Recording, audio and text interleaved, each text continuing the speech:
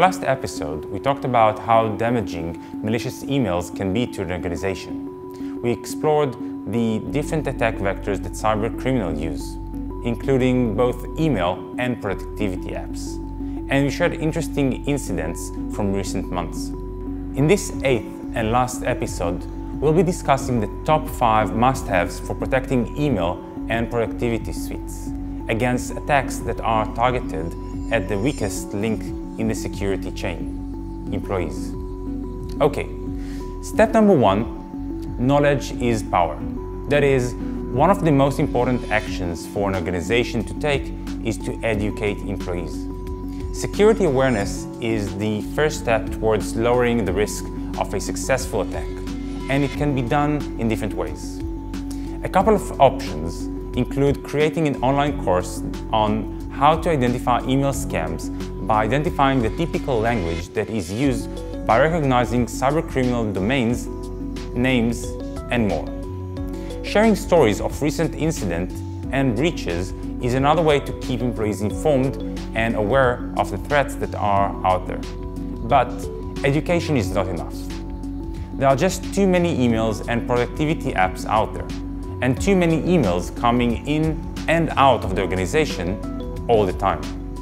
Moreover, there are so many attacks and their success rate are constantly increasing. Quite often, it's just too much to handle. Accordingly, organizations absolutely must implement not just knowledge sharing, but also these five must-have capabilities. Must-have number one is phishing protection. Phishing, as discussed in the previous episodes, is one of the most common threats to organizations. It is probably the most versatile and sophisticated form of attack. Another thing about email phishing attack is that they often serve as the first stage of a bigger attack, making them the hacker's front door to your organization. And if the attack is successful, cyber criminals will come waltzing in. Have no doubt about it. Phishing attacks, if successful, will consequently enable lateral movement within the organization. For these reasons and many others, real-time phishing protection is crucial to ensuring that your organization is safe.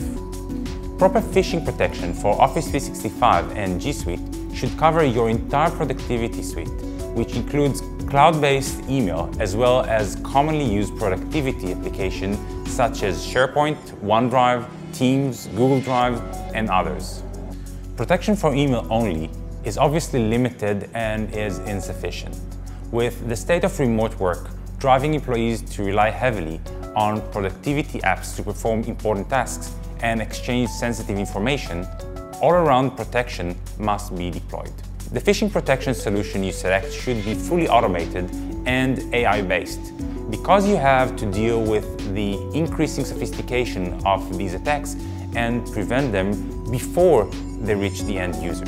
The tool you select must also be able to examine the different aspects of advanced phishing emails, which include inspecting metadata to validate the sender, inspecting email attachments to ensure that they are not malicious, validating links, checking the email against other domain intelligence, and applying click time prevention so that the links are always validated as non-malicious. Moreover, the tool must also be able to check the language of the email. This is because phishing emails often include subtle indication of fraud, such as text signatures, credential theft patterns, and expressions of urgency or call to action that is suspicious, such as change your password immediately or pay this as soon as possible. Must-have number two is malware protection. Malware is another huge risk to organization. When evaluating a malware protection tool, organization must consider two key parameters. The impact on productivity and the block rate. In order to maintain productivity without compromising security, the solution you select must be able to clean any file of active content instantly, so it can deliver it within seconds to the end users. As for the block rate, this is important because once a malware reaches the end user's machine, it is too late.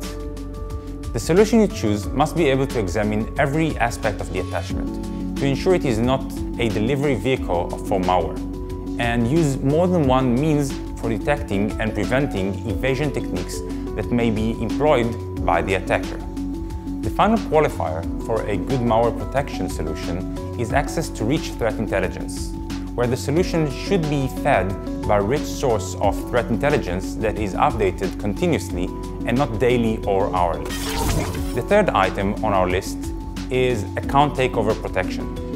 What is called hijacking users' account is a common practice among cybercriminals.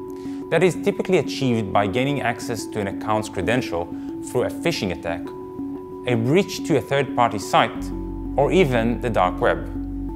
A hijacked account presents a huge risk to organization as the hacker now has complete access to the organization's database, contacts, customers' information, and other sensitive data.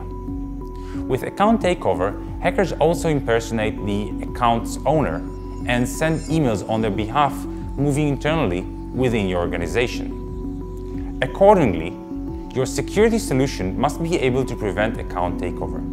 It is also important to consider that the account takeover prevention solution should work in a layered approach.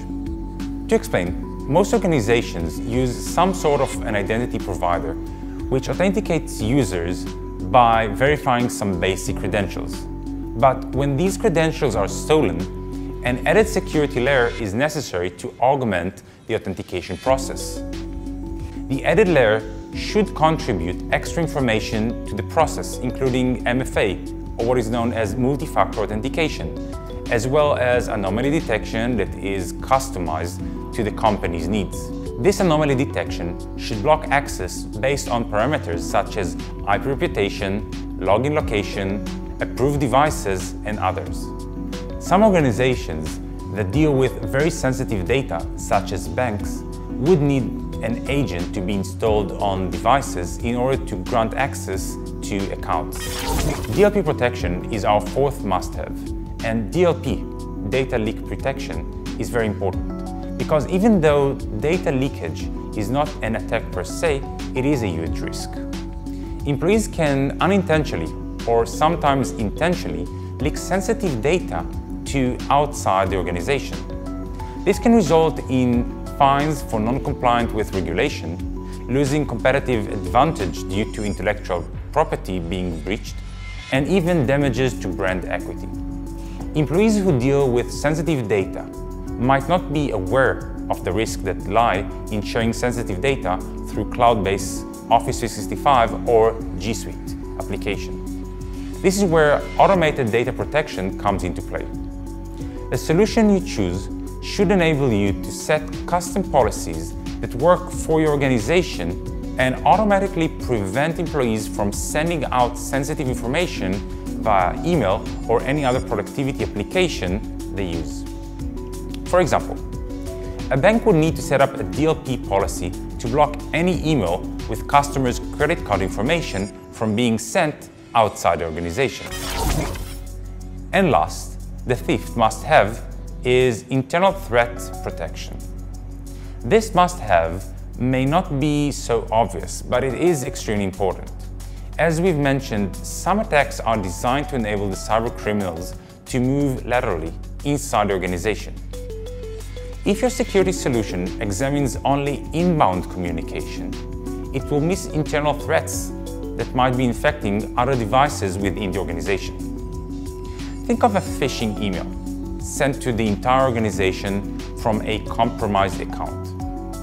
The email seems credible as it has come from a colleague within the organization.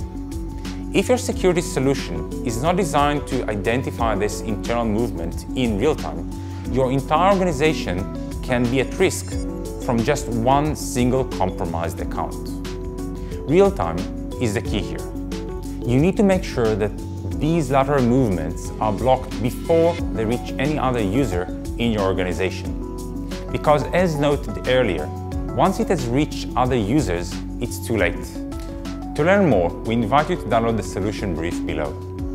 Well, that's it for our series on securing the remote workforce. Thank you for watching, and I hope you found our discussion to be relevant and valuable to your organization in its effort to stay secure during these unusually challenging times. Thank you.